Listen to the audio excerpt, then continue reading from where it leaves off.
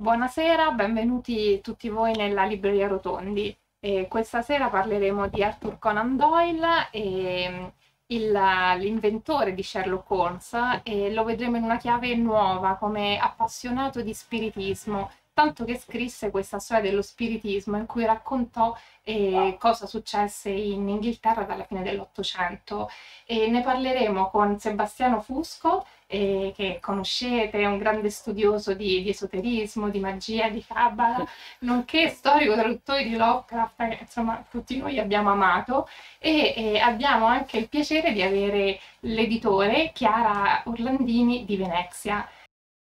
Allora, eh, ogni libro ha una storia e quando ho sentito parlare per la prima volta eh, di questo testo eh, ho cominciato a guardare di cosa si trattava. Il testo era molto molto più grosso e era un testo diciamo di formato ottocentesco, un po' ridondante, eccetera. Allora avevamo pensato come può una storia, e poi adesso vi spiegherò, di questo tipo piacere a un pubblico moderno?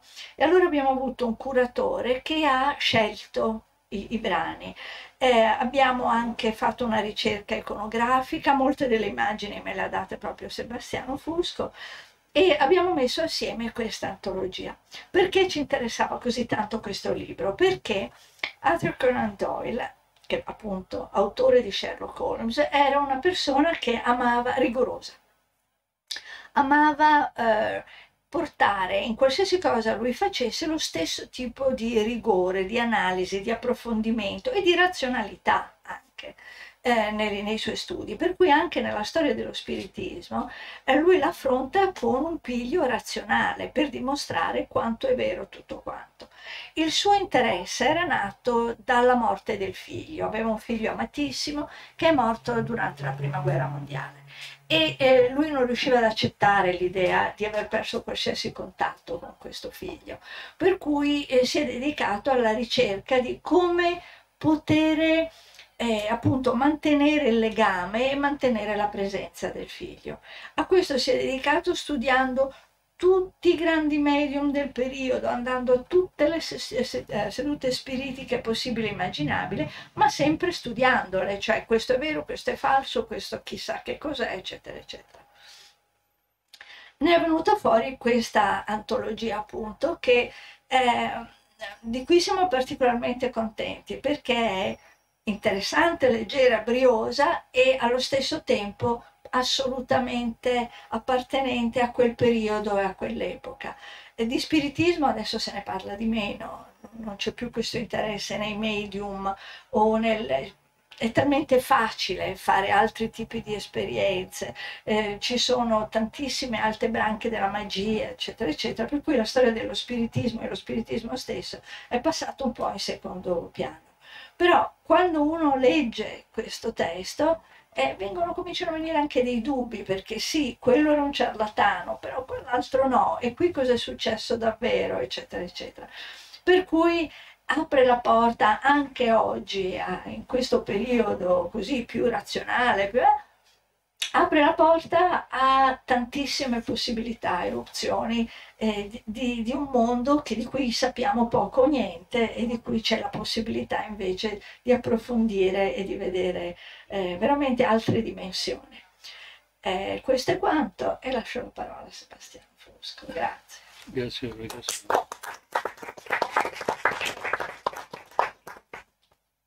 Allora, prima di parlare dello spiritismo in quanto fenomeno culturale, ecco, parliamo un pochino di Conan Doyle, che effettivamente è stato, come diceva Chiara, un personaggio straordinario. Lo conosco bene perché hanno curato le opere in italiano, insomma, quindi non eh, parlo di una persona così, quasi conosco come se fosse un amico.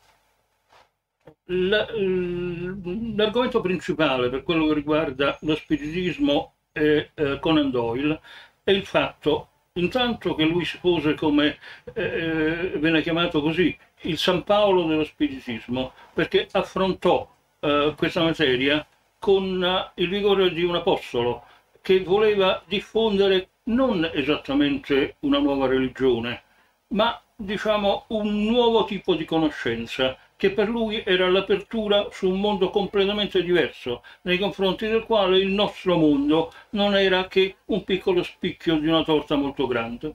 Ecco, e fece questo con eh, lo spirito razionale del positivismo eh, ottocentesco. Ed è questo che è molto interessante in uh, Conan Doyle, perché, come sempre diceva Chiara, lui applicava il metodo sperimentale.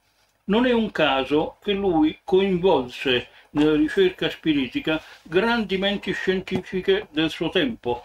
Oh, è una cosa, tra l'altro, molto interessante perché parallelamente, in anni molto vicini, qualcosa di questo genere succedeva anche sul versante della magia, perché quelli erano gli anni in cui cominciò ad affermarsi e a diffondere le sue opere una società magica, esoterica inglese che si chiamava l'Alba d'Oro, Godan. Ecco, di questa società facevano parte non soltanto maghi, esoteristi, astrologi, cose di questo genere, ma c'era una grande rappresentanza di scienziati. Per esempio l'astronomo reale di Scozia era uno dei membri della, dell'Alba d'Oro e così tante altre personalità. Anche questa è una cosa che so, mm, mi consta personalmente, ho curato io i, i, i libri di questi signori pubblicati in Italia. E, mm, e, e proprio questo fatto di avere curato contemporaneamente sia le opere dell'Alba d'Oro sia le opere di Conan Doyle mi ha eh, colpito per la presenza del positivismo, della scienza, del metodo sperimentale addirittura in queste, in queste due imprese intellettuali. L'Albadoro addirittura si diede la struttura di, eh, di, di un'università che era all'epoca la suprema istituzione docente dell'impero britannico, il college. Ecco, sembrava uh, il Cambridge, l'Oxford del, del, della magia. E così, no, eh, così eh, Conan Doyle applicò il metodo sperimentale a tutte quante le cose che lui ha scritto, ha detto della, della, mm, eh, del, dello spiritismo diciamo, aiutato anche da personaggi straordinari come eh, il signor Cruz che, eh, che, è stato l'inventore del tubo catodico, quindi pensate, il tubo catodico, noi per tanti anni abbiamo visto la televisione perché c'era questo signor Cruz che aveva inventato il tubo, il tubo catodico. E lui era, era, è stato uno dei, mm, mm, dei, il braccio destro di Conan Doyle nell'imporre questa, questa nuova dottrina particolare. E lui, eh, che so, il, la, la, la, mm, eh, la certezza di avere comunicato col figlio l'ebbe proprio perché attraverso un messaggio ottenuto eh, mediante eh, un medium pose a chi gli rispondeva delle domande delle quali lui solo conosceva la risposta e la risposta venne e lui mandò una lettera straordinaria agli altri figli per, per dire guardate ho trovato vostro fratello quindi è una cosa, una cosa molto bella voglio dire anche dal punto di vista umano è un'avventura straordinaria lui stesso, Conan Doyle, poi non era una persona che si fissava esclusivamente su qualche cosa. Noi lo conosciamo soprattutto per Sherlock Holmes. In realtà lui ha scritto una marea di roba in tutti quanti i campi, non solo dello scibile, ma soprattutto della narrativa fantastica. Per esempio, lui è uno degli antesignani della fantascienza. Ecco, eh, eh, mm, dico un esempio, tempo fa eh, Chiara mi diede a rivedere un suo libro che aveva pubblicato sugli alieni, gli schivolanti. E nel testo c'era uno dei capitoli riguardava l'ipotesi che i, non si trattasse di macchine, ma si trattasse di esseri viventi che vivevano nell'atmosfera come i pesci nell'acqua. Eh, I pesci vivono continu continuamente navigando nell'acqua, questi esseri che lui immaginava vivevano eh, sempre nell'atmosfera, navigando nell'atmosfera con fluido come l'acqua, perché il loro peso specifico era bassissimo. Benissimo, lui diceva che è un'ipotesi strana, non ne sarà mai sentita, eccetera. Non è vero, perché nel, negli anni 20, all'inizio degli anni 20, Conan Doyle scrisse un, uh, un racconto intitolato L'orrore e l'altezza che era basato proprio su questo tema, che nell'atmosfera ci fossero degli animali che vivevano come, come meduse Ecco, quindi pensa, eh, eh, questo autore ha scritto il suo libro, mi è toccato mettere una nota per dire, per dire questo, che lui quando andò, manco, manco sapeva chi era, ecco. No. Ma questo per dire, eh, lui scrisse un libro sul mondo perduto, no? uno dei suoi libri più, eh, più famosi, The Lost World. Ecco. E, eh, questo libro ebbe non soltanto una serie di imitazioni incredibili, ma fondò proprio il, il topos del mondo perduto, il mondo nel quale la, la, plaga sconosciuta nel quale ancora vivono i dinosauri, il, il mondo antediluviano e cose di questo genere. Scrisse un romanzo su Atlantide, scrisse un romanzo sulla fine del mondo, cioè era un genio incredibile, straordinario.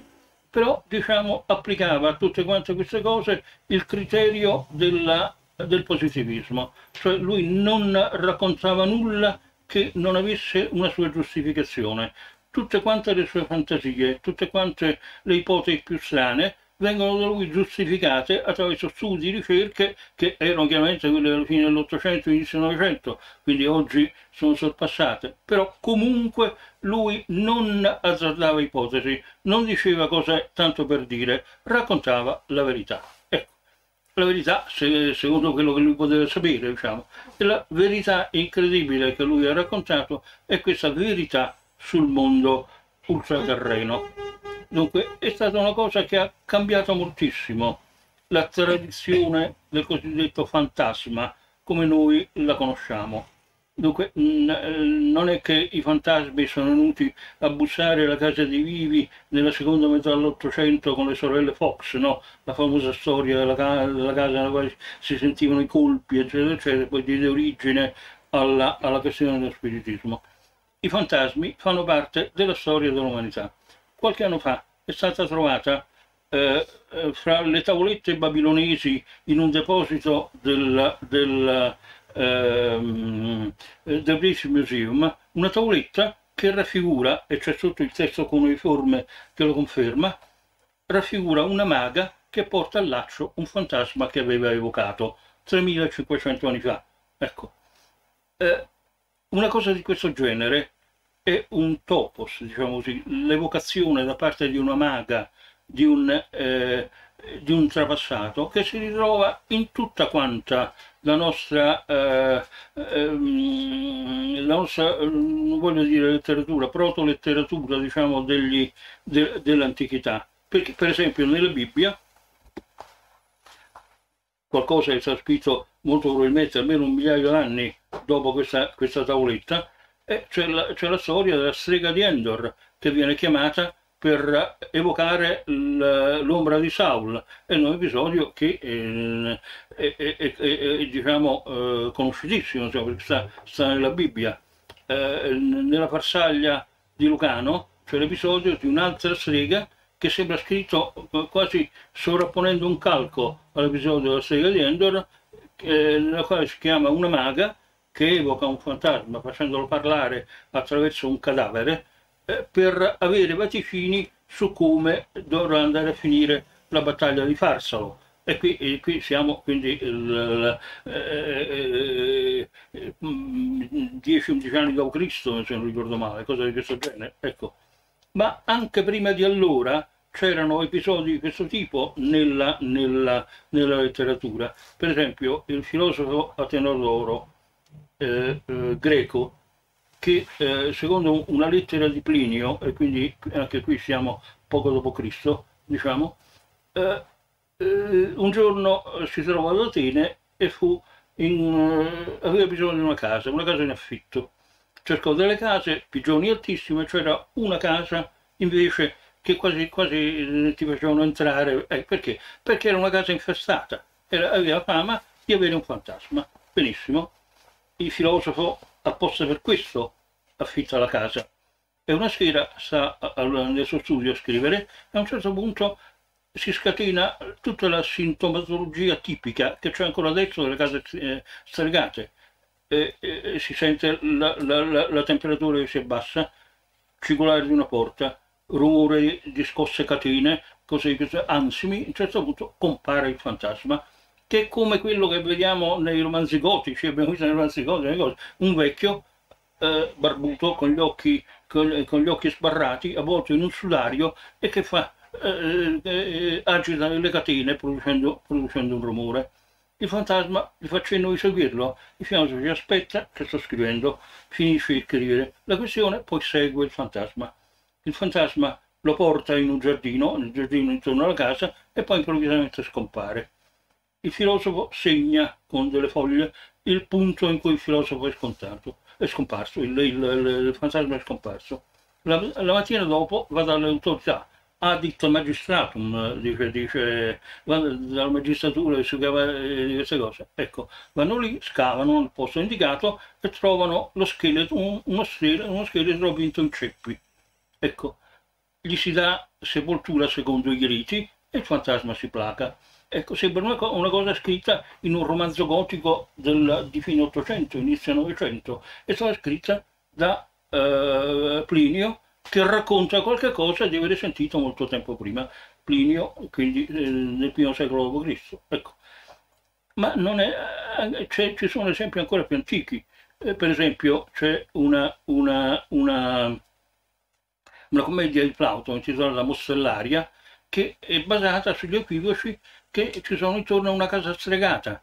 Ehm, è, è, è, una cosa grottesca, diciamo così, più che eh, orrorifica, però c'è il fatto che è basato sul topos della casa stregata, come quello del filosofo Tenodoro. E per di più, questa, questa commedia è stata scritta da Plauto imitando un autore greco de, del IV secolo a.C. che si, eh, la commedia si chiamava Fasma e l'autore non mi ricordo più, però abbiate pazienza, la capoccia se n'è andata. Eh, comunque eh, era un autore greco eh, di 300 anni antecedente a, a Plauto.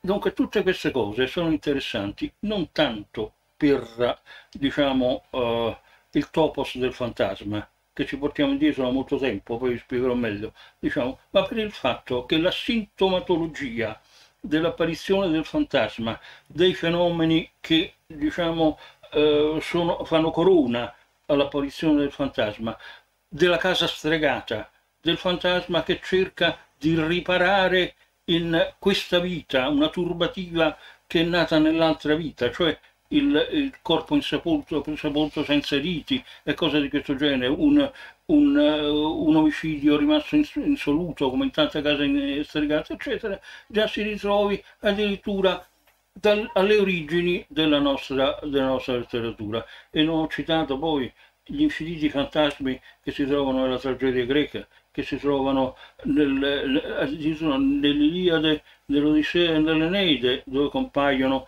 o vengono cercati, evocati fantasmi di, di ogni genere tipo. Lo, uh, Ulisse che va nell'Ade a cercare l'ombra, l'ombra di, di, Achille, eh, Agamennone, Patroclo che compare, che compare a, ad Achille nel, eh, nell'Iliade. Diciamo questo è un topos molto antico. Perché adesso è un topos molto antico? È una cosa che noi ci portiamo dalla nostra remota ascendenza sciamanica, perché tutte quante queste manifestazioni, questi fenomeni, il concetto stesso del mondo degli antenati, del mondo che è sopra di noi, del, non, del, mondo che noi non possiamo né vedere né attingere, ma attraverso un certo tipo di ritualità, un certo tipo di preparazione interiore, possiamo in qualche maniera scorgere, certe volte possiamo addirittura andarci.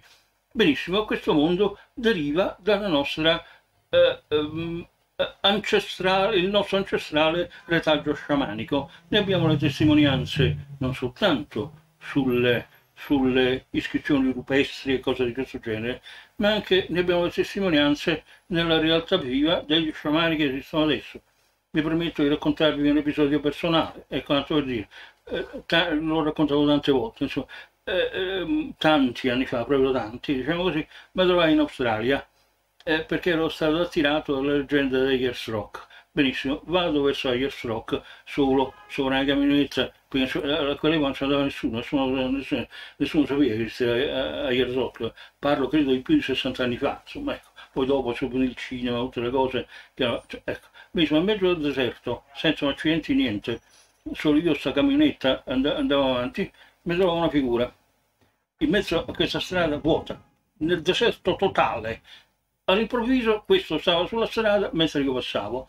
Adesso io non, non, le, le, coincidenze esistono, però come diceva Jung, esistono perché eh, c'è qualcosa che le fa coincidere. Ecco.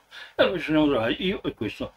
Questo signore era un 9,8, un affairato così, negro, brutto, cioè, cioè, nudo, con un po', un po', di foglia sopra le vergogne, cose questo genere, con in mano una lucertola mezza scorticata, che a brussolina scorticata, era quello che sognava.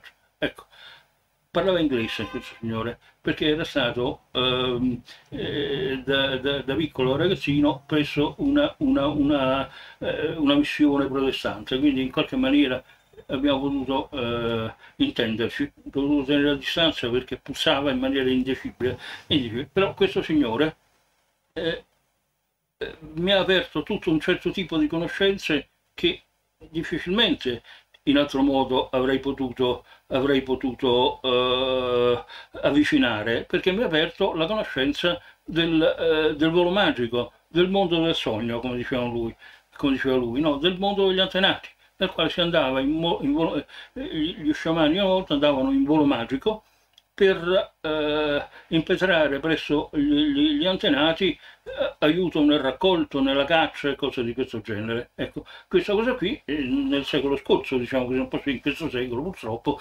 diciamo, non è poi tanti anni fa, insomma, ecco, 60 anni fa, e c'era questo, questo signore, una delle tante persone strane che ho incontrato, diciamo, forse per le coincidenze junghiane nel, nel corso della mia vita, però ecco, è stato un incontro, anche se ero molto giovane, un incontro per me fondamentale, perché mi ha fatto capire per esempio che non devi guardare nelle apparenze per, capire, per giudicare le cose. E questo era, era, era, una cosa orrenda proprio eh, anche all'olfatto però voglio dire lui mi ha, mi ha eh, concesso una, una, eh, un tipo di conoscenza che neanche il più alto dei professori universitari in Occidente mi avrebbe mai potuto, potuto eh, in qualche maniera elargire. Ecco Oh, e quel signore era uno che di fatto evocava gli spiriti, questo era il suo mestiere, vedeva gli eh, spiriti nel senso soprattutto di spiritualità, perché lui vedeva gli spiriti non soltanto come eh, diciamo, eh, gli antenati, gli spiriti dei morti, ma lui vedeva gli spiriti nel senso dell'apparenza ulteriore di un albero, di una roccia, di un animale. Ecco, lui effettivamente era una porta, una soglia fra questo mondo e un mondo di apparenze molto, molto diverso. Ecco, questa è stata una delle delle tante, delle tante cose che mi hanno fatto capire che um, eh, diciamo, il positivismo, il razionalismo, eh, la nostra scienza eh, profana, diciamo, hanno un certo valore eh, io lo so, sono, sono studiato ingegneria, quindi non è che non, non disprezzo la scienza profana, tutt'altro, però so che riguarda soltanto una categoria dell'esistenza, c'è una categoria ulteriore al quale noi abbiamo accesso mediante altre cose. Ecco. Nel, nel, nell'ordine eh, cronologico dell'umanità, diciamo, il fenomeno del, dello spiritismo riguarda quel tipo di, di, di fenomeni, quel tipo di eh, conoscenze particolari che ci aprono proprio questo tipo di soglie su una realtà che noi altrimenti non potremmo conoscere. Bisogna stare attenti perché questo tipo di apertura è di natura simbolica, cioè noi non vediamo, ciascuno di noi, perché è una cosa individuale, non ci sono carte geografiche che valgono per tutti, ciascuno ha la propria carta geografica e se la deve disegnare da solo. Ecco, eh, in questo mondo ciò che vive, ciò che appare, ciò con cui possiamo interfacciarci, sono cose che nascono da dentro di noi. Questo non significa che non abbiano realtà oggettiva, perché uno dei criteri fondamentali del pensiero, chiamiamolo così magico, è che non ci sono differenze fra l'interiorità e l'esteriorità. Ecco, come diceva la tavola di Smeraldo, no? Documento famoso, ciò che è in alto è come ciò che è in basso, ciò che è in basso è come ciò che è in alto, per fare il miracolo di una cosa unica. Ecco, questo è il concetto che bisogna sempre tenere presente quando si studiano questo tipo di fenomeni. Lo spiritismo è solo un caso, ma ce ne sono infinità. Abbiamo parlato prima della Golden Dawn, benissimo. loro studiavano un sistema molto particolare, specifico, proprio per entrare dentro, dentro questo mondo. La chiamavano astral projection, cioè proiezione astrale. Ecco, eh, usavano un simbolo, in genere una carta dei tarocchi, e lo so perché l'ultimo libro scritto riguarda proprio questo, diciamo, ecco, una carta dei tarocchi che loro proiettavano in qualche maniera con la mente contro una parete liscia e questa, dopo tutta una serie di operazioni di eh, concentrazione, meditazione, contemplazione, tutta complicata che ho spiegato poi nel, nel, nel, codex che ho scritto per la gentile signora eh, eh, eh Orlandini, benissimo, trasformavano questa, questa, questa, eh, questa carta in una soglia, la attraversavano e si trovavano in un mondo che simbolicamente era coerente con la carta che avevano individuato. Per esempio, se, se, se eh, eh, usavano la carta detta alla giustizia, si trovavano in un mondo nel quale loro vedevano forse controbilanciate che devono essere equilibrate da un qualche cosa. Ecco, e parlavano con gli esseri che c'erano in questo mondo, discutevano, interagivano. Ciascuno di loro però, e noi abbiamo i loro resoconti, di questi mondi, queste cose, aveva un'impressione differente. Loro trovavano un, una, una, una, matrice comune sovrapponendo le varie esperienze ed è per questo che sono molto interessanti le loro discussioni, proprio perché abbiamo in questa maniera un'immagine coerente di quel mondo al di là che tanti di noi che hanno questa ansia di vedere qualcosa di nuovo, compresi gli spiritisti, in qualche maniera cercano di raggiungere. Ecco. Eh, nella, nella, nel progresso dell'umanità, diciamo, lo spiritismo, che è sempre stato uno dei punti chiave in, eh, in questo genere di dottrine, di quest'ansia di conoscere la, ciò che è al di là, ecco, ha avuto tutta una serie di trasformazioni. Tanto per dirne una, in epoca classica l'ora dei fantasmi non era la mezzanotte, al contrario era il mezzogiorno. I grandi fantasmi dell'umanità, diciamo così, eh, avvenivano, le loro apparizioni avvenivano in quell'ora. Eh, Sofocle descrive, il, descrive una, una, una, una uh, l'apparizione di una divinità, cioè lo spirito di qualche cosa che abita dalla, dall'altra parte. Eh, ecco, e la descrive in piena calura, dice questa è l'ora del giorno nella quale il, il, la calura è più alta, faceva caldo. Ecco, perché era mezzogiorno.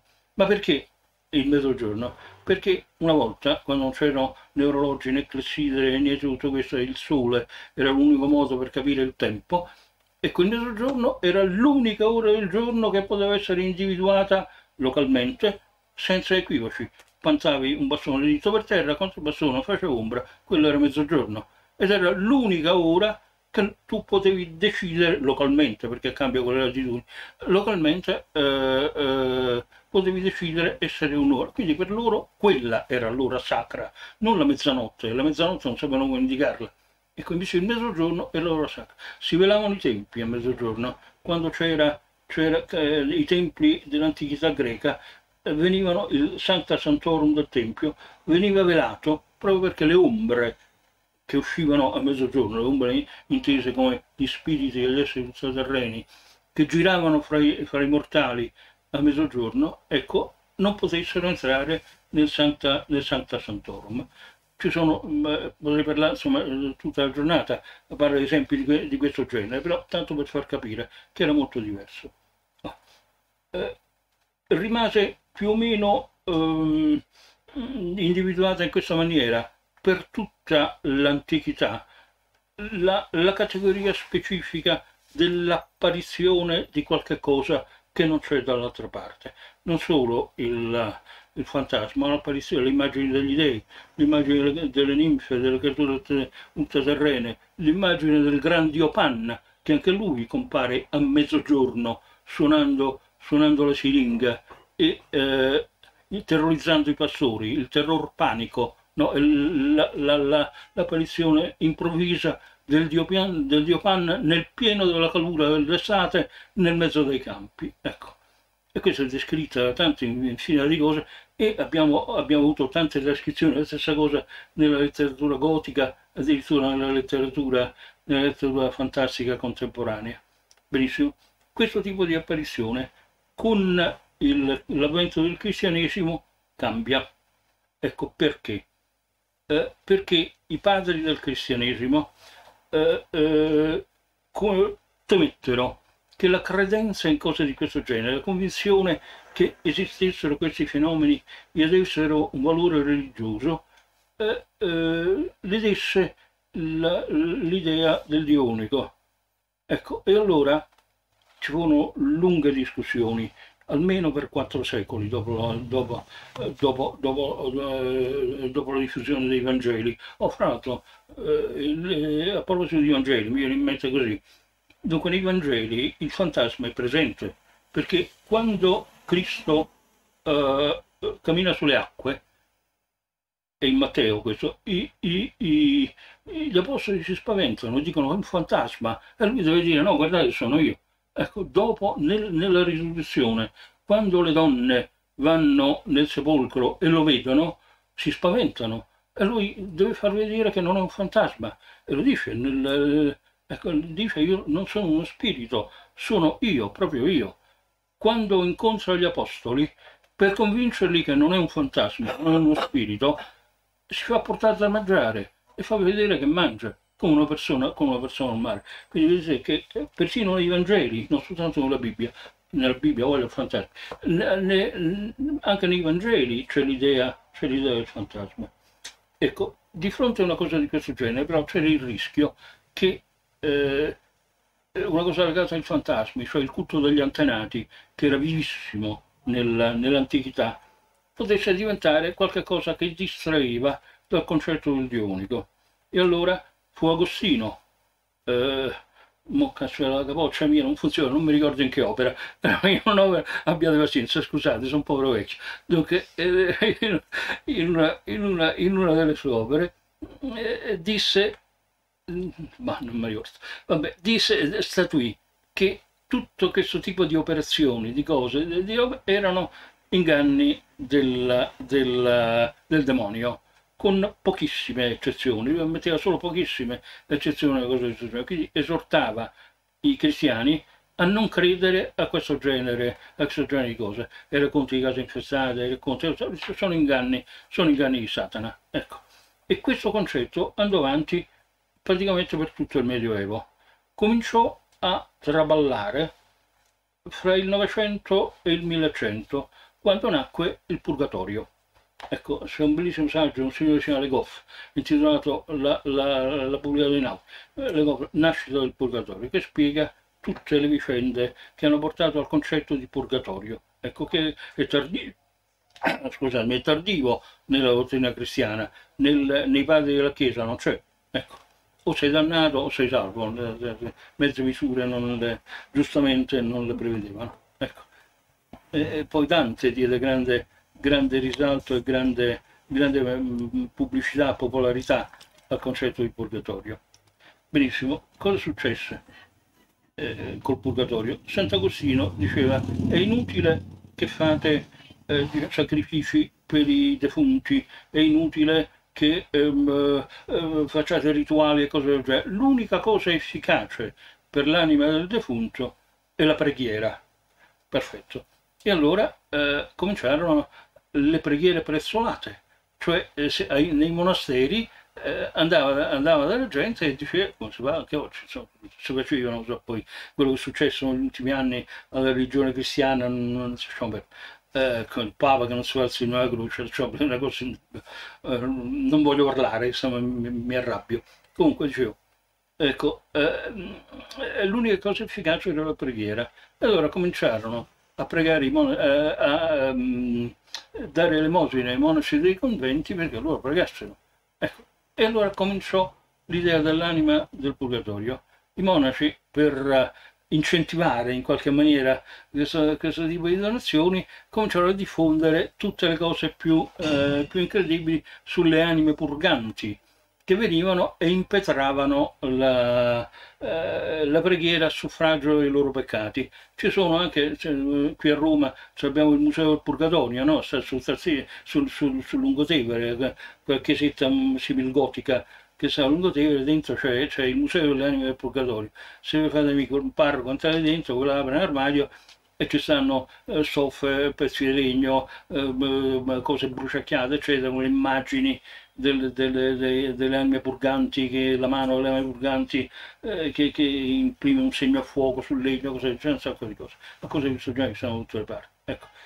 In questa, maniera, in questa maniera, proprio per incentivare in qualche maniera eh, questo tipo di commercio, chiamiamolo così, eh, riemerse il, il fantasma e c'è tutta una tradizione che eh, mostra come queste anime purganti e queste cose cominciassero a entrare nelle, nelle faccende degli uomini apparivano in tutte le maniere, in tutte le mode, apparivano alle persone, alle, alle persone del volgo e apparivano ai regnanti. Ci sono eh, varie, varie, varie narrazioni di regnanti che avevano eh, assistito a fenomeni strani e avevano preso delle decisioni proprio per eh, avere avuto visioni di questo genere. Queste cose qui le abbiamo anche poi di riflesso anche nella, nella, eh, nella letteratura, che so, lo spettro del padre che, parla, che appare ad Amleto e cose di questo genere, qui ce ne sono un'infinità di cose del genere, perché c'è stata una ricaduta letteraria non proprio immediata, ma insomma abbastanza molto intensa di, di, un, concetto, di un concetto di questo genere. Ecco. Eh, in questo modo, diciamo, la, la, la, il concetto del morto che ritorna, del fantasma, rientrò in qualche maniera nel, eh, eh, nel folklore dell'umanità, mentre per quasi tutto il Medioevo era rimasto sopito proprio per non contrastare la, la sentenza di Sant'Agostino. E noi siamo accusati di eresia, non è uno scherzo, eh, diciamo così. Eh, contemporaneamente eh, si è manifestato anche un'altra cosa di un certo interesse. Dunque, per esempio, questo fenomeno di risurgenti, del mostro che ritorna, del, del fantasma che ritorna, cominciò a diffondersi soprattutto nell'Europa del Nord, ci sarebbero i motivi, insomma, ecco, sotto una forma differente, cioè quello che ritorna non è eh, il, eh, lo spirito, ma ritorna il cadavere vero e proprio. Il cadavere eh, riprende vita, non è mai morto, riprende vita e passa fra gli uomini facendo nefandezze di ogni tipo. Da questo tipo di leggenda anche la leggenda del vampiro, che è il morto che ritorna, non esce dalla bara e, e deve essere, e deve essere eh, eh, diciamo, eh, sopraffatto attraverso tutto un ritualismo specifico e particolare, il palizzo nel cuore, l'aglio, cose, cose, di questo genere. Comunque questi due fenomeni eh, si diffondono in pratica contemporaneamente, negli stessi anni, soprattutto nel versante mediterraneo, diciamo così, del, dei paesi sulle sponde del Mediterraneo, all'aspetto del fantasma, dell'ombra che ritorna, del fantasma del vivo che ritorna fra gli uomini. Altrove è proprio lui che ritorna, ritorna proprio il fantasma in sotto forma, sotto forma di vampiro. E questa cosa eh, si diffonde continuamente e le due leggende a un certo punto si intersecano, hanno, hanno delle, delle, eh, delle, delle, connotazioni che si sovrappongono e soprattutto entrano nella letteratura. Eh, entra, dunque Chaucer nei, eh, nei racconti di Canterbury parla di due, eh, due, due, episodi di fantasmi, episodi che raccontano un altro topos particolare, cioè eh, uno il fantasma che ti ammonisce, il tuo amico che ritorna e, e, dice non prendere quella nave, non salire su quella nave, non fare quel, quel viaggio perché ti porterà sfortuna, morirai. Allora il fantasma che ammonisce. E l'altro invece è il fantasma che si vendica, cioè il fantasma che la persona che è stata uccisa, che torna e eh, denuncia il delitto e fa in modo che il colpevole venga, venga in qualche maniera punito. Ecco, queste due forme, altri topos che sono andati avanti in maniera eh, diffusissima nella, nella narrativa fantastica, nascono proprio da questo tipo di inferenze. Ecco, nascono tante altre leggende intorno a questo, per esempio la caccia selvaggia, lo spirito, le, i morti, l'orda dei morti che cavalcano nel vento e la loro apparizione è, è, è, è motivo annuncio di sventura cose del genere, una leggenda nordica diffusissima che ha delle, delle, delle, delle, delle mm, trasmissioni singolari. Una delle novelle più famose di Boccaccio è quella del, di Assaggio degli Onesti, no, che in una foresta, una foresta vicino Ravenna, a un certo punto si vede di fronte una cavalcata incredibile, cioè un, uno spettro sopra un cavallo infernale che insegue una donna, la raggiunge e ne fa strazio. Ecco, e allora gli raccontano che queste sono le anime di due persone che in qualche maniera avevano commesso un, un, un peccato. Dunque, il peccato era della donna, ma siccome Boccaccio era Boccaccio,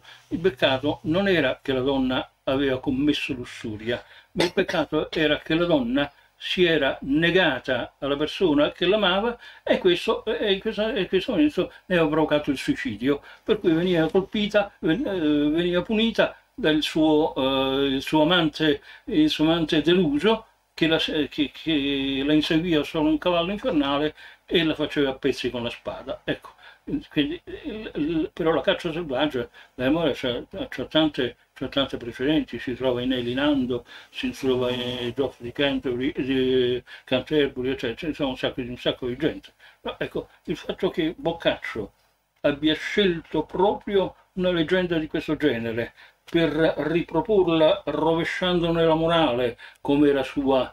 Eh, eh, seguendo il suo spiritaccio come, come c'è fuori nel Decameron, diciamo è molto significativo, fa capire come erano diventati popolari questi racconti di fantasmi e questo tipo di cose. Oh, andando avanti, eh, nel senso sta farlo dopo, diciamo, con il nascere del pensiero cosiddetto illuminista, cioè il sorgere della dea ragione, soprattutto dopo la rivoluzione francese, allora queste cose cominciano in qualche maniera a, a spegnersi. Sono rare le, le, i racconti di fantasmi classici in, eh, nel periodo dell'illuminismo, della, della, della, cultura illuminata. Ecco. A un certo punto però ritornano prepotentemente. E quando ritornano? Ritornano proprio col nascere del positivismo nel momento in cui no, eh, sembrerebbe eh, il più assurdo perché per, per, nascere, per far nascere cose di questo genere. Credi nel soprannaturale, proprio tu che sei eh, un positivista, che credi soltanto nel, nelle cose concrete, che hai accolto la filosofia dell'empirismo il rasoio di Occam, cioè credi soltanto a quello che puoi toccare e vedere e non consideri niente eh, di ciò che insomma, eh, rimane parte della tua fantasia. Ecco perché. Ecco, ce lo spiega un signore che si chiama Chesterton, l'autore di Padre Brown, no? siamo proprio con giallisti, ci sono molte co co coincidenze fra i giallisti e gli spiritisti. Diciamo, ecco, eh, Chesterton, che era cattolico, disse una volta, se si smette di credere in Dio, non è vero che non si crede più a niente, si crede a tutto. E infatti è quello in cui da quel, mom- da, da, da quel momento, dal nascere del positivismo, noi cominciamo a vedere nella storia, non voglio dire della cultura o del pensiero, diciamo, nella storia di questa particolare eh, attività, eh, attività, cerebrale umana che consiste nell'interessarsi a cose di questo genere. Non lo fate perché... Comunque, eh, eh, eh noi abbiamo visto un proliferarsi di sette credenze, convinzioni, magie, eh, tutte le cose più strane, proprio nate attraverso il positivismo. E lo spiritismo è una delle cose più chiare da questo punto di vista, perché lo spiritismo non è, diciamo, la negazione del positivismo e del materialismo, ma neanzi la magnificazione perché concepisce la, eh, l'aldilà, questo, questo, questo, grande territorio nel quale eh, vagano le ombre dei morti, come un corrispettivo in qualche maniera del mondo, del mondo che esiste. Cioè mano a mano che sono andati avanti gli spiritisti con le loro sedute, con le loro ricerche, l'ampliarsi dell'interesse anche ai cosiddetti fenomeni eh, psichici, l'espe, cose di questo tipo, sono arrivati quasi alla convinzione che nel, nell'aldilà c'è un doppio della nostra società. C'è un, un, eh, un'architettura sociale, c'è una struttura gerarchica che è simile a quella, a quella umana.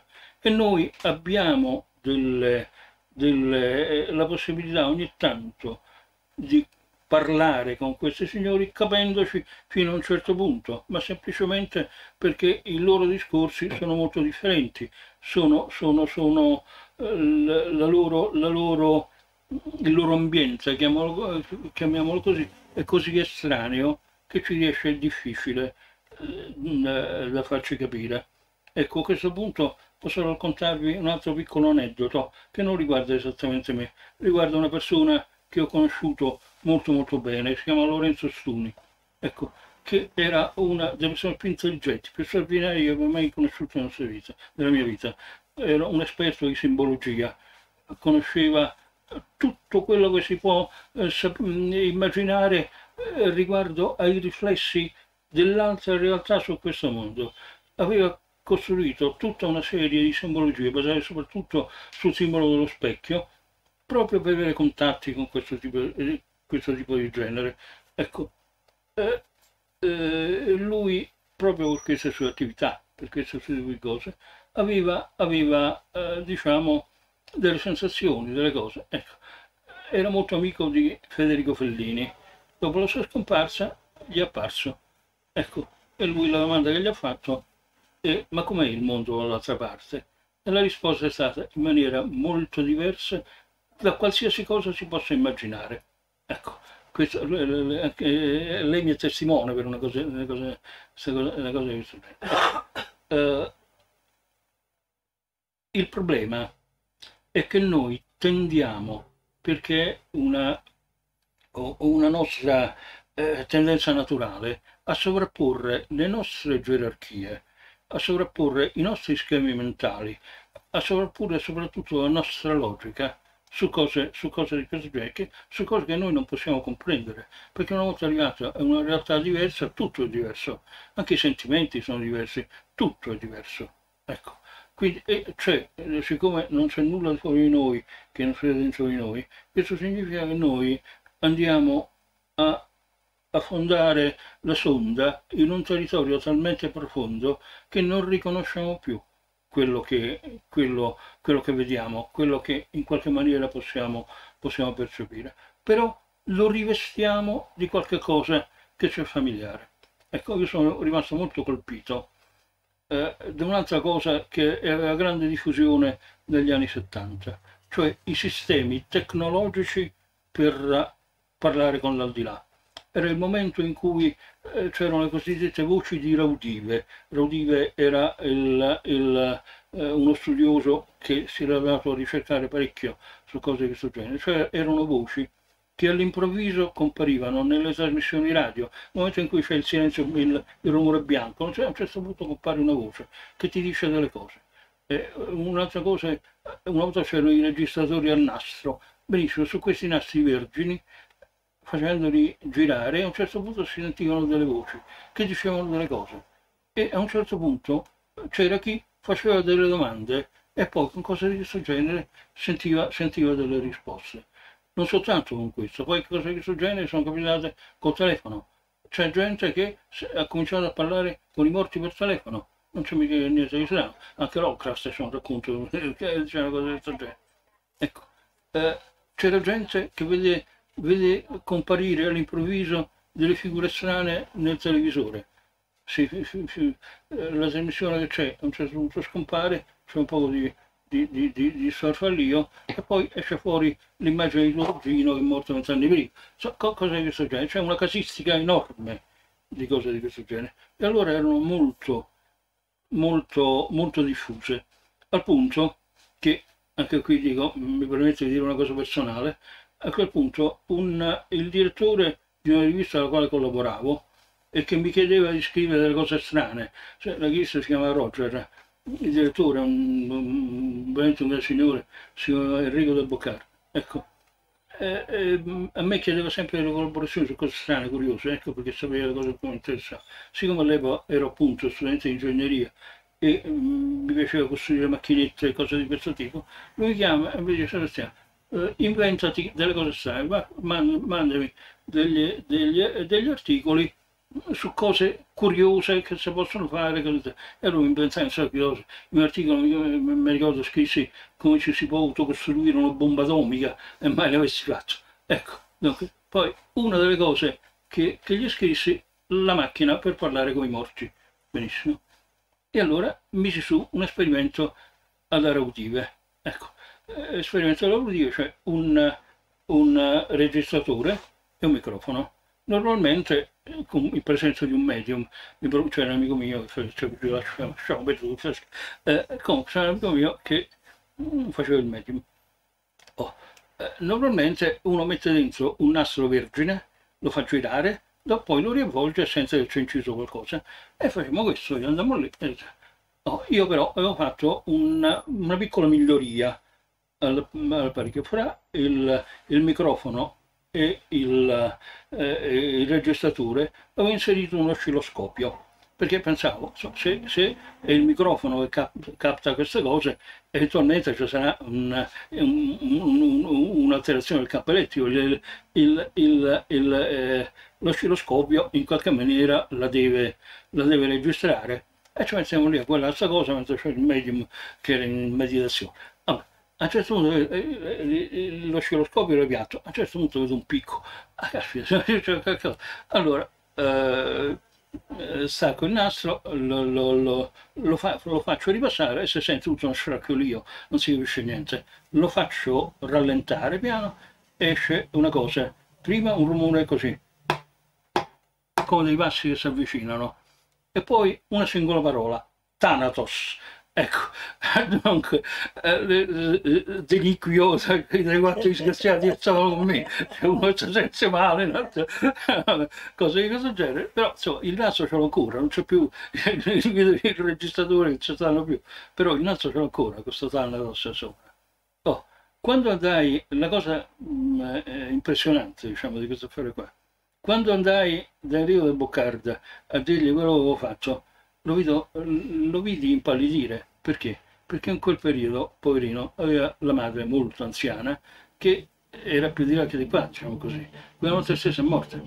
Ecco, questo diciamo è un piccolo aneddoto, ma per far capire come si intreccino questi due mondi. Io ero ingegnere all'epoca, cioè non, sì, mi interessavo di questo tipo di cose, eccetera, eccetera, però vedete come e non, si può neanche parlare di suggestione perché l'hanno sentito 100.000, 100.000 persone questa parola, si sentiva proprio chiaramente insomma, i passi e questa parola. Nessuno ha visto niente naturalmente. Il medium era uno di quelli che è cascato in siliquio poraccio, so, ecco quindi, eh, quindi mm, diciamo eh, ci sono eh, strane colleganze fra quello che vediamo quello che sentiamo, quello che procuriamo, eccetera. E mm, in qualche modo bisogna starci anche attenti perché poi le suggestioni che nascono da questo genere sono, sono, molto potenti. Ecco, una delle persone che lì stava male per un sacco di tempo perché sono dovuto andare io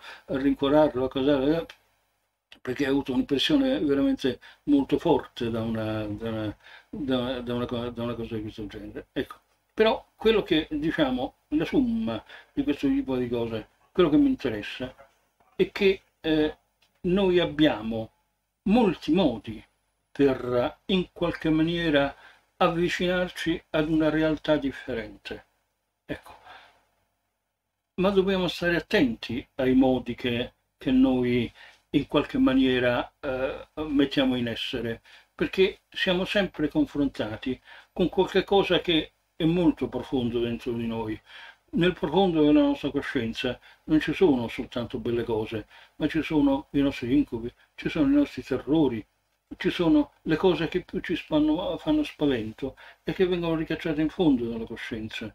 Però eh, eh, succede qualcosa di strano, ogni tanto queste cose in qualche maniera fermentano, ribollano e qualche cosa eh, viene, viene, viene, in superficie. È come se si scoppiasse, scoppiasse una bolla di gas a un certo punto eh, viene, viene da noi non sotto forma di odore, ma sotto forma di visioni, sensazioni, pensieri strani, cose curiose. Ecco, quindi bisogna stare anche molto attenti, vigilare molto eh, nei confronti, se abbiamo curiosità nei confronti di questo genere, bisogna vigilare molto, pensare bene a quello che facciamo o non facciamo, perché poi la, il nostro meccanismo, la, la, nostra, la nostra coscienza, il nostro equilibrio mentale è una cosa piuttosto precaria e se già si è squilibrati un pochino per conto nostro, si fa presto a dare un calcio e buttare giù e buttare giù il masso alla rupa, ecco, sì, sì, sì. Comunque, diciamo, lo spiritismo, per tornare, per tornare allo spiritismo, io l'ho visto sempre come, soprattutto, non tanto come il fenomeno, il morto che in qualche maniera ci riappare, perché abbiamo visto che ci sono 100.000 casi di, di questo genere, sempre contraddittori, sempre diversi, con significati sempre diversi. Non è questo. Io vedo una cosa di questo genere come il sovrapporsi dentro di noi di questa realtà con l'altra. Ecco, sono simboli che escono nella nostra coscienza per farci in qualche maniera prendere un certo tipo di contatto con, con l'altra realtà. Ecco, io sono un, uh, un, appassionato di un autore che si chiama Lovecraft, ecco, che era il più grande dei razionalisti, materialista all'eccesso, eppure aveva un mondo interiore, un mondo onirico soprattutto, incredibilmente lussureggiante, incredibilmente vasto, multiforme in tutte le maniere possibili. Benissimo, lui, questo tipo di cosa, eh, lui, pur avendo una resistenza interiore particolare nell'accettare una cosa di questo genere, la esorcizzava dicendo sono sogni, sono visioni che ho dentro di me, però quelli, quelle visioni lo hanno condizionato personalmente tutta la sua vita è stata sconvolta proprio da cose di questo genere. Ecco, è quello secondo me che sta succedendo alla nostra società. Eh, eh noi, eh, Lovecraft esorcizzava questo tipo di cose dando loro forma narrativa, che noi facciamo lo stesso. I nostri incubi, le nostre paure, le nostre tensioni, eccetera, le esorcizziamo attraverso lo spettacolo. Netflix, per esempio, è un, è un enorme esorcismo e ci, ci, dà, ci regala eh, la, la, la, eh, le visioni più spaventose, le cose di stanza, dicendo eh, guarda, tanto sta in televisione, cioè frega niente. È come eh, le fiabe, no? che una volta raccontavano di, di, di, cose terribili, spaventose, matrigne, assassine, orchi mangiauomini, draghi, sputatori, però non ci fanno paura perché c'era una volta, eh, c'era questo esorcismo e c'era una volta. E così, tanto è narrativa, è la televisione, è il gioco di ruolo, cose di questo genere. Noi ci giochiamo con questo tipo di cose. Ma questo tipo di roba ha proprio a livello della società lo stesso effetto che Lovecraft dava alla sua narrativa. Lui scriveva di questi mostri, mostri del suo inconscio, perché ciascuno di questi um, incarnava un suo aspetto particolare, una sensualità um, frustrata, un, un, un, un desiderio di affermazione anch'esso frustrato, cose di questo genere, ecco, che erano incarnati ciascuno da un mostro specifico, Yoxotot, Chulu, Azzotot, queste, queste, cose, queste cose che lui immaginava, e lui le esorcizzava trasformandole in racconti. E così la nostra società esorcizza i suoi incubi trasformandoli in spettacoli, vedere, specialmente adesso, se noi andiamo a vedere il cinema, vediamo mostri di tutti i generi, c'è mai stata una cosa del genere. Io quando ero ragazzino, quando c'erano i film da mostri, eccetera, vedevamo parrocchie, eravamo quattro. Adesso invece tutti i, i, i, film più, più, uh, più, diffusi, maggior successo, si vedono le cose più tremende, cose terribili, insomma, che, che, eh, quando ero io ragazzino non se ne poteva neanche parlare, insomma, invece adesso arrivo a casa la nostra con la televisione, con, uh, con, tutti, con tutti i sistemi diciamo, di, di educazione delle sciocchezze, il cinema, la televisione, i giochi di ruolo, qualsiasi cosa, le canzonette, cioè, cioè, eh, ero, quando, ero, quando ero ragazzo mio, quando ero ragazzo io, le canzoni parlavano eh, l'amore, le cose. Cioè, adesso sembra, sembra, sembra, sembra eh, diventare in Bethlehem il manicomio criminale di Londra quando, quando, sai, quando senti, le cose, senti, le cose, di oggi. Ecco, anche quelli che le cantano, se tu li vedi, eh, se faccio qualcosa che non ero io, chiamavano, chiamavano neurodeliri, insomma. Ecco. Quindi, eh, eh, eh, è cambiato molto ed è cambiato molto proprio perché il nostro atteggiamento nei confronti di questo tipo di cose eh, ha delle resistenze particolari. Mentre una volta si accettava in qualche maniera il fatto, eh, anche a livello subconscio, che, si, che ci fosse una realtà diversa, una realtà che in qualche maniera poi saremmo venuti a conoscere. E c'era poi soprattutto la, eh, lo scudo della fede, la fede religiosa, che nei confronti di una cosa di questo genere aveva un'operazione, una, faceva un'operazione calmiratrice, era, era e soprattutto rassicurante, la beata speranza e cose del genere. Adesso queste cose non ci stanno, questi, questi, questi, eh, questi paletti messi al nostro tumulto interiore non ci sono più. Ecco, eh, c'era, un signore che si chiama Otto Rank che diceva che eh, eh i, i, i sogni e gli incubi per, nostra, per l'individuo corrispondono al malessere sociale, al, al disordine della, della, società. Cioè noi abbiamo degli incubi, anche la società ha i suoi incubi e, e si vedono. Io non ho mai visto una società così strana, disordinata, scombinata come quella, come quella che si vede si vede oggi, cioè quello che dice io ho fatto le bombe atomiche che distruggono in 5 secondi, dice ah sei cattivo, ma perché, cioè, non, non, non, si può, non, non, è, non, è, non sarebbe stato concepibile. Ecco io ho diciamo, questo piccolo vantaggio nell'avere l'età che ho, che posso, posso, fare il confronto con quello che era e quello che vedo. Ecco, siccome sono stato per fortuna sveglio tutto questo tempo, eh, in qualche maniera eh, sento un pochino una cosa questo genere. Per questo anche mi interesso di questo tipo di cose. Lo spiritismo per me è un segnale straordinario proprio di una cosa del genere.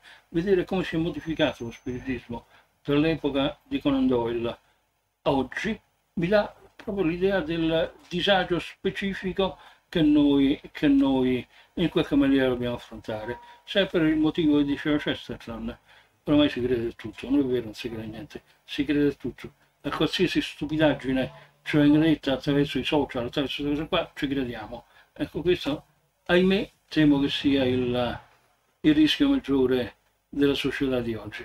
Vedete, siamo andati a parlare di un libro qualunque, alle cose ai massimi sistemi, ma questo diciamo, mi capita abbastanza spesso. Ecco, spero di non avere annoiato nessuno. Diciamo, a un certo punto devo smettere, se andiamo qui domani mattina. Ecco, credo di avervi tediato anche troppo a lungo. Se c'è qualcuno che ha delle domande, sono qua per...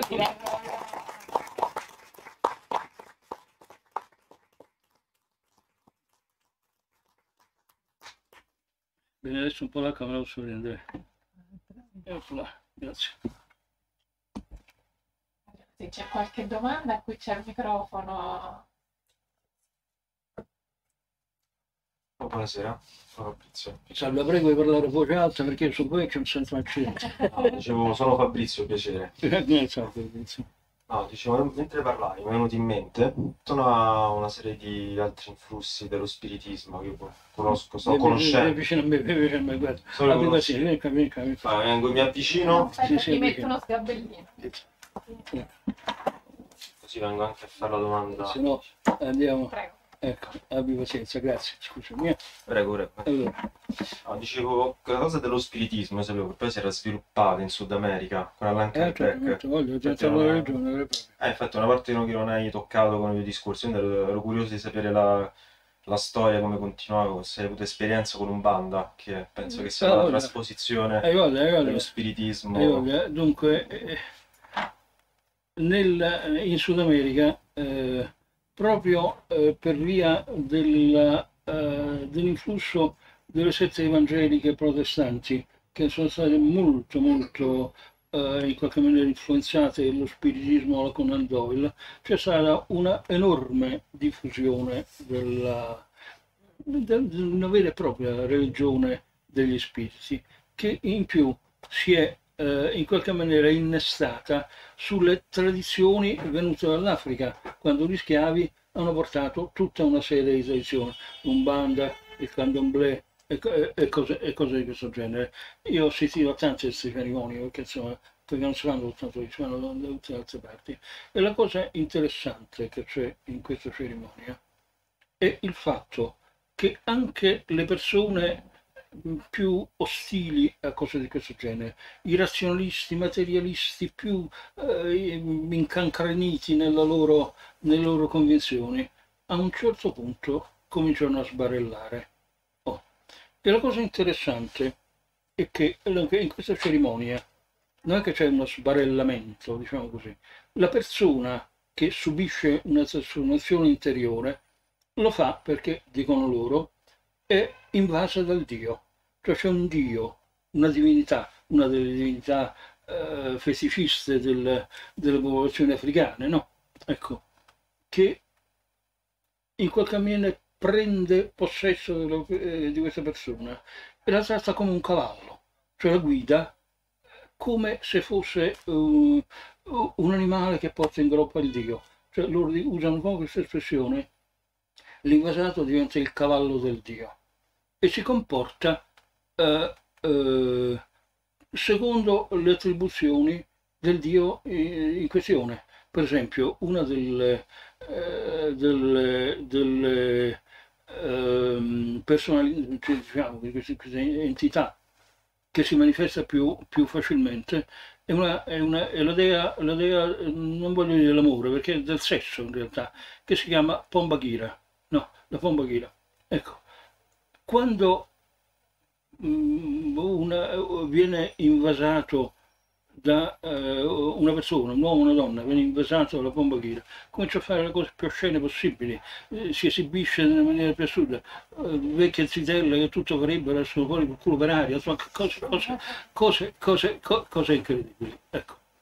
Poi ci sono anche altre divinità, per esempio, c'è la divinità del, del male, della violenza, cose di questo genere, che fa diventare aggressivi, si gettano addosso a quello che sta vicino, prima a pugne e così via. Tutte persone che non hanno, non solo sono totalmente eh, eresie, aliene all'immaginare qualcosa, ma che non sanno neanche chi sono queste divinità, quello che viene invaso dalla pompa di non ho mai sentito parlare di questo qui, non non ha, che sono prete, una suora, non, non, hanno mai sentito parlare di, di cose che succedono. E comincia a spogliarsi, a fare cose indecenti, proprio perché è invaso, allora tutti dicono, è la pompa ghira, la. Eh, tutti quanti quelli che sono lì lo riconoscono. Ecco, questo dà un'idea, diciamo, intanto del fatto che queste entità, queste cose, sono presenti in ciascuno di noi, perché in ciascuno di noi ci sono delle istintualità che possono essere ricollegate al il simbolo che, che, definisce queste, questa società. Loro lo chiamano bomba ghira, noi lo chiamiamo in maniera diversa, Venere, che ne so, cose, cose di questo tipo. Però questa istintualità c'è sempre dentro di noi e si può manifestare. La cosa interessante è che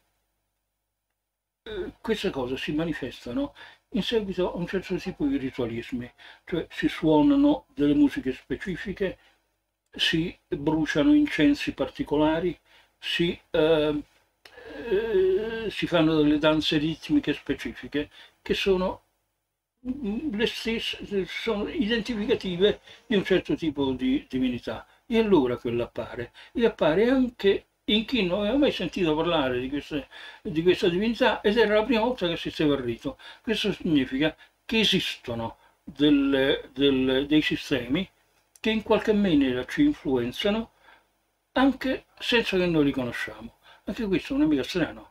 Io che studio magia nella vita, centomila volte vedo delle, eh, delle, dei rituali, dei, grim, dei cosiddetti grimori, no?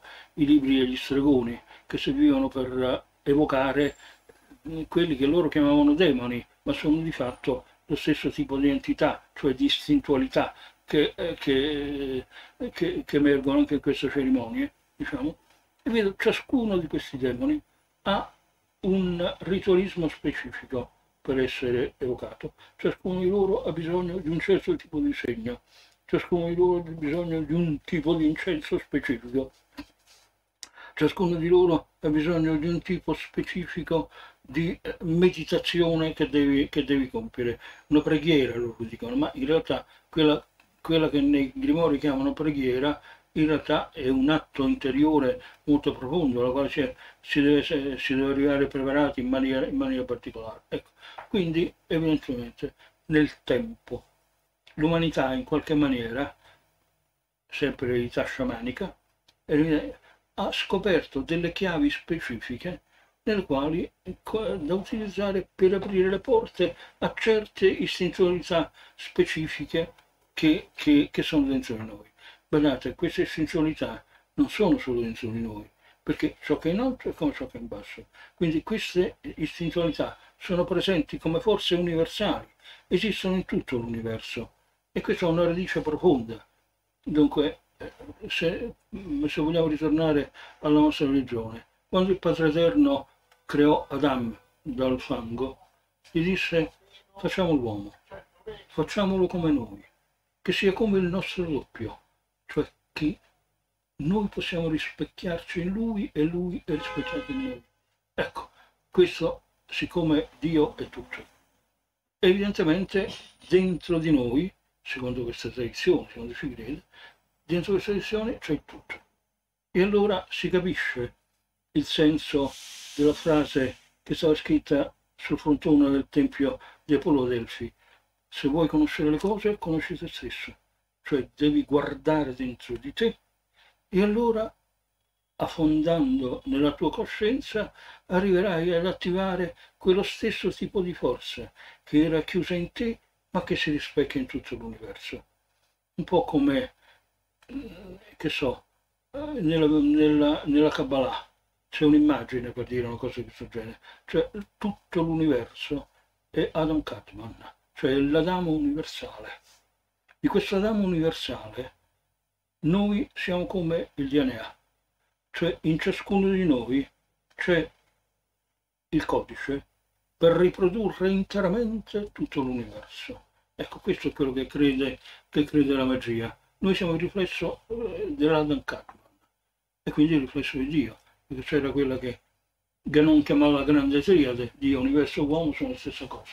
Ecco, questo è il concetto che in qualche maniera eh, cercano di spiegare le dottrine, le dottrine ermetiche, le dottrine, cioè, che ovviamente pochi eh, hanno riuscito a, sono riusciti a delucidare perché pochi l'hanno capito, insomma, eh, ma non è colpa loro, perché il linguaggio, il linguaggio molto, è molto diverso, diciamo.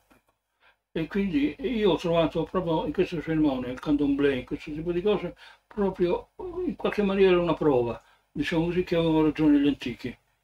Nascita Ibsen e c'è in tutte le culture. Eh, nel, nel, buddismo si dice per avere conoscenza della salute non c'è bisogno.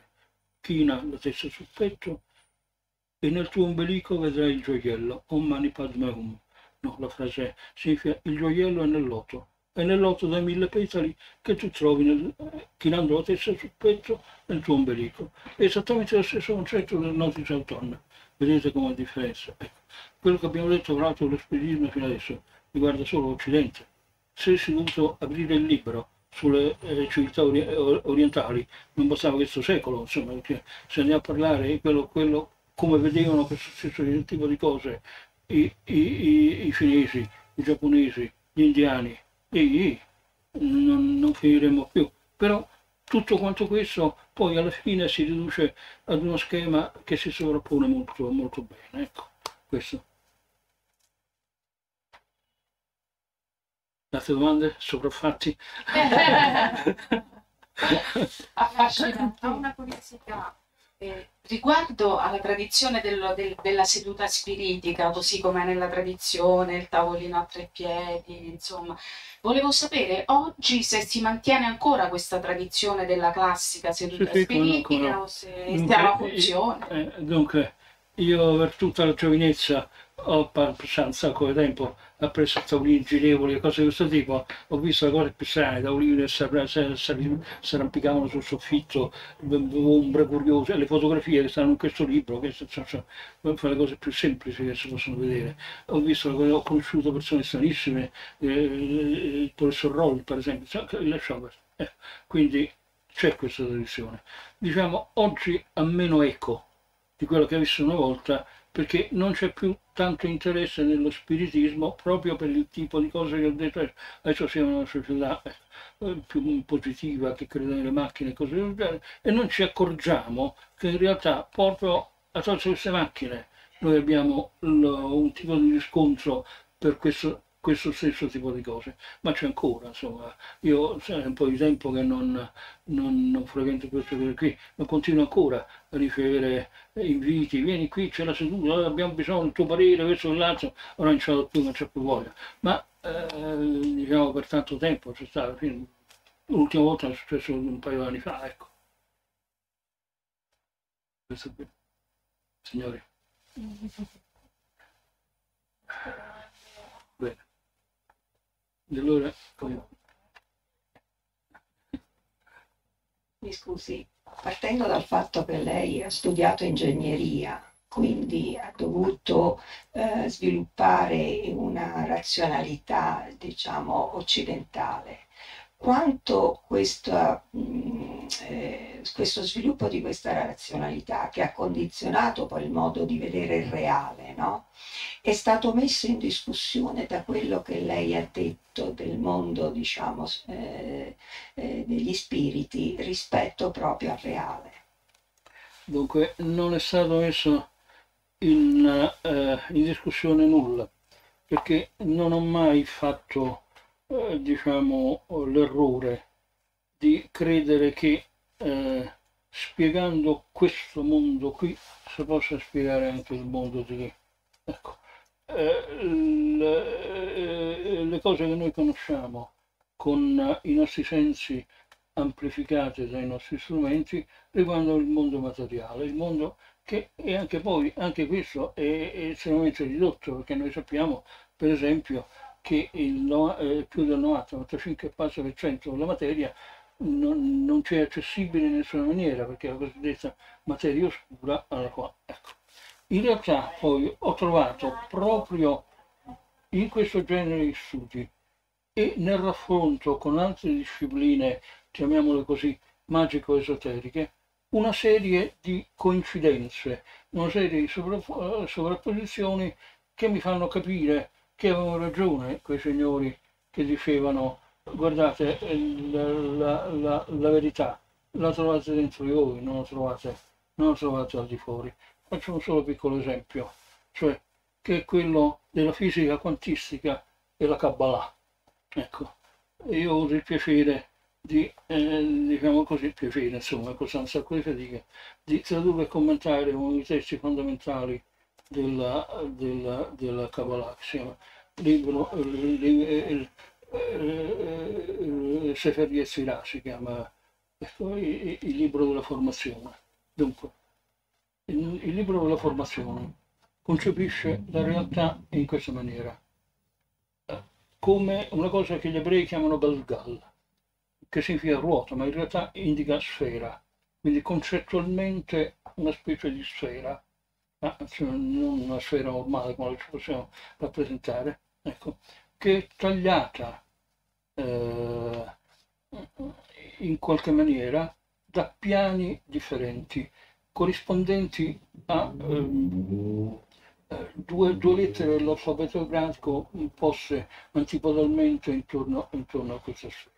Ecco. Ciascuno di questi piani indica in questa sfera globale il momento della realtà nella quale noi ci troviamo. Ecco, quindi il nostro mondo, quello che noi vediamo, non è altro che un piano che attraversa questa sfera del tutto. Ecco. Questo concetto è identico a quello che la fisica quantistica chiama multiverso. Considera il multiverso come esattamente una non una sfera, una ipersfera di Riemann a 11 dimensioni, no? nel, nel quale il, eh, uno dei piani secanti che passa attraverso il centro è la realtà nella quale ci troviamo. Cosa differenzia un piano dall'altro? La differenza è l'atto percettivo, perché secondo il principio di, eh, di indeterminazione noi non possiamo concepire esattamente lo stato specifico di una particella.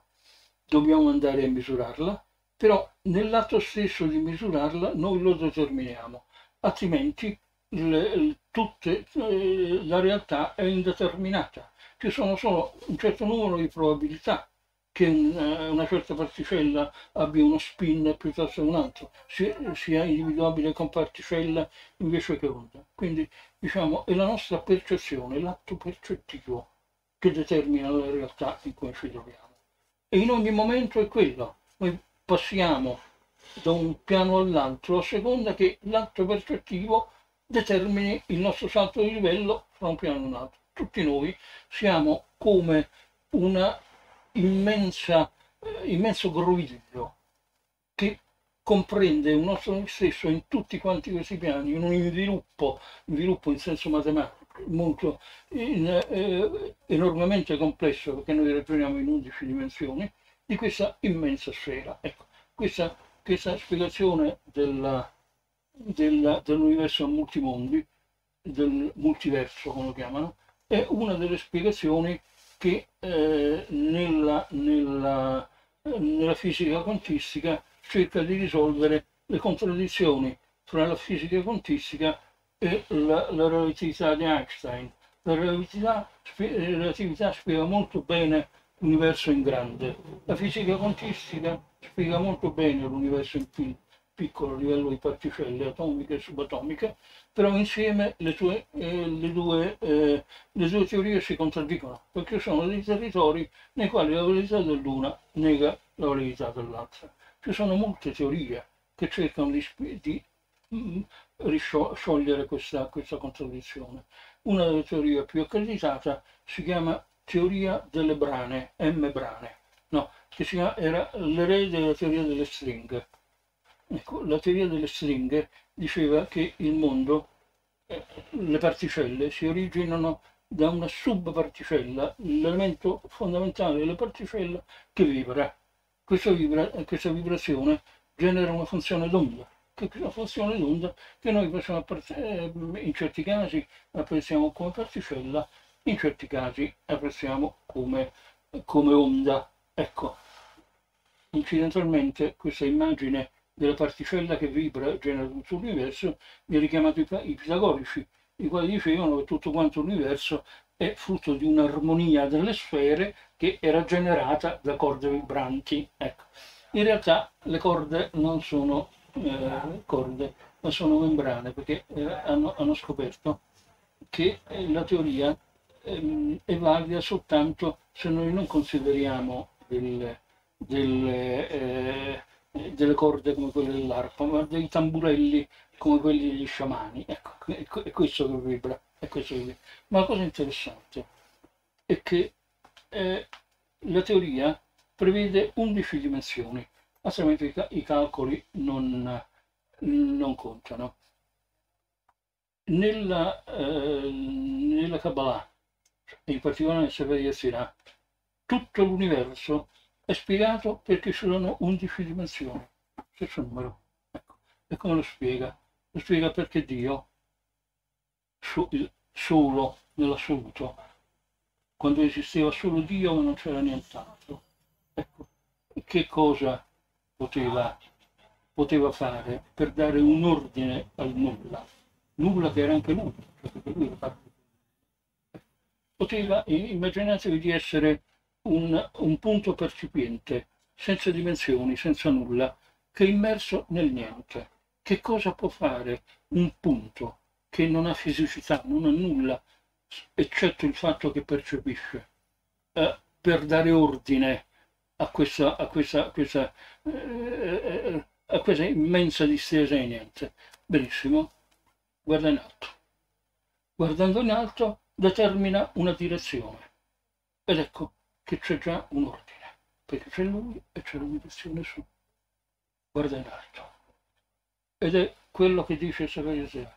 Elohim, Dio, guardò in alto e fissò il sopra con tre lettere del suo nome.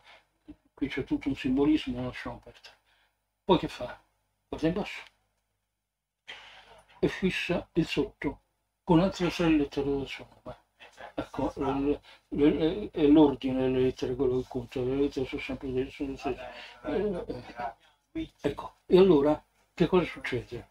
Ha determinato non soltanto una direttrice, ma anche un senso, cioè il senso che dà da lui verso l'alto, o il senso che va verso il basso. E allora che cosa si è determinato? Non soltanto lo spazio, perché c'è una direzione di qualche cosa che contiene, ma ha determinato anche il divenire, perché c'è qualcosa che può cambiare, c'è una direzione, io posso andare verso l'alto, oppure posso andare verso il basso. Quindi non soltanto si è determinato lo spazio, ma si è determinato anche il tempo. E allora queste sono già due dimensioni, due, due direttrici. Ecco, poi guarda una parte, poi guarda dall'altra. Ecco, verso destra, verso sinistra ed è la stessa cosa. Poi guarda nella terza dimensione possibile degli altri, degli altri, degli altri partigiani. Sei dimensioni. Quindi ha definito interamente lo spazio e lo definite ogni volta con tre lettere del suo nome. Questo è interessante questa cosa qui, perché lo spazio che viene definito in questa maniera è sì finito, ma è anche limitato, che è esattamente quello che dice la teoria cosmologica di, di Einstein, che definisce l'universo infinito ma limitato, concetto di limite, come la, la, curva che va verso l'asintoto e, la, e, la, e, lo, e lo, lo, lo, incontra all'infinito. Ecco, però lo spazio che è, che, che è racchiuso fra la curva e gli assi cartesiani, quello non è infinito, è finito, perché noi lo possiamo calcolare con un integrale. Ecco, qui, fino adesso la sovrapposizione fra eh, la, il sapere cioè la Kabbalah e la visione sì, è identica. Va avanti, una, la, cosa, non so spiegare tutto il sapere sia, se no eh, eh, si, si, si eh, finisce questo tipo di cose, che le, le, uh, le dimensioni definite in questa maniera sono 10, delle quali 4 aperte sono gli assi cartesiani e il tempo, e altre 6 sono chiuse. Benissimo. Che è esattamente quello che prevede la, eh, la, eh, la fisica quantistica, perché mh, mm, sei, delle, sei delle dimensioni della fisica quantistica si chiamano spazi di Calabi-Yau, due, due matematici, un italiano e cinese, che hanno, che hanno, che hanno studiato una cosa, una cosa del genere. Ci sono, oltre alle dimensioni che sono aperte, che sono quelle che noi conosciamo, nelle quali viviamo, ci sono anche quattro dimensioni, sei dimensioni che sono chiuse. Ecco. Come nella Kabbalah, così nella fisica quantistica, gli spazi calbini sono chiusi, eh, sono dimensioni aggrogliate su se stesse, nelle quali non possiamo penetrare, ma esistono. Ecco, c'è un'undicesima dimensione che, che, deve essere presa in considerazione. Questa undicesima eh, dimensione è la consapevolezza umana. Nel, in questo senso il, il Signore Sera è chiarissimo. Adesso, per trasportare una cosa di questo genere nella fisica quantistica, come possiamo fare? Ecco, come si fa? Dunque, queste dimensioni hanno mi scuso per usare un po' di concetti matematici, eh, eh, hanno la, la, la, struttura concettuale di un vettore. Il vettore è un ente fisico che ha eh, una direzione e un senso. Ecco. Come possiamo dare una dimensione, un senso e, una, e, una, e, e un valore numerico? Ecco. Un'intensità.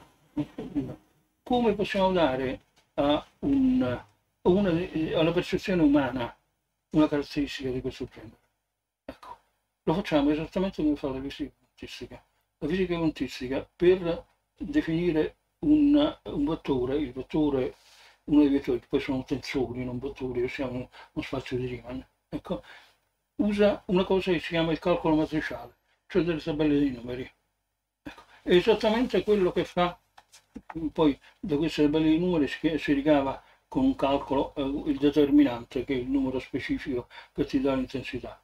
Ecco, esattamente quello che fa il sapere soltanto che invece dei numeri usa una tabella formata dalle lettere dell'alfabeto ebraico.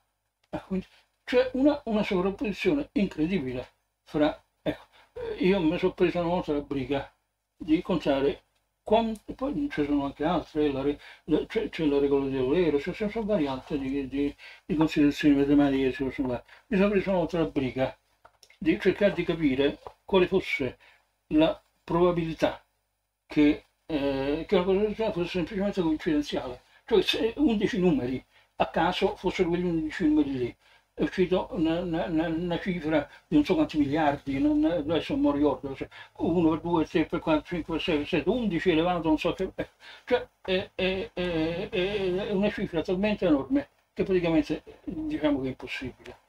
Ecco. Questo, cioè, eh, la domanda era l'ingegneria ti ha aiutato? Ecco, mi ha aiutato a fare questo. per quello che serve, poi insomma sono tutti per strocchi e mi faccio una capoccia. Allora, se non ci sono altre domande, eh, io andrei a chiudere. Eh, ringrazio Sebastiano Fusco, ringrazio Chiara Orlandini, ringrazio tutti voi di essere venuti qui questa sera. Devo dire, io stavo qui in prima fila che c'era un silenzio totale, densissimo. Tutti tramortiti. Non urlava una voce, no, no, no, c'era proprio una, una tensione palpabile che insomma è rara, perché poi comunque è sera, perché è la fine di una giornata, comunque di lavoro per tutti, quindi... Grazie Sebastiano, sempre grazie a voi, grazie a voi. Grazie.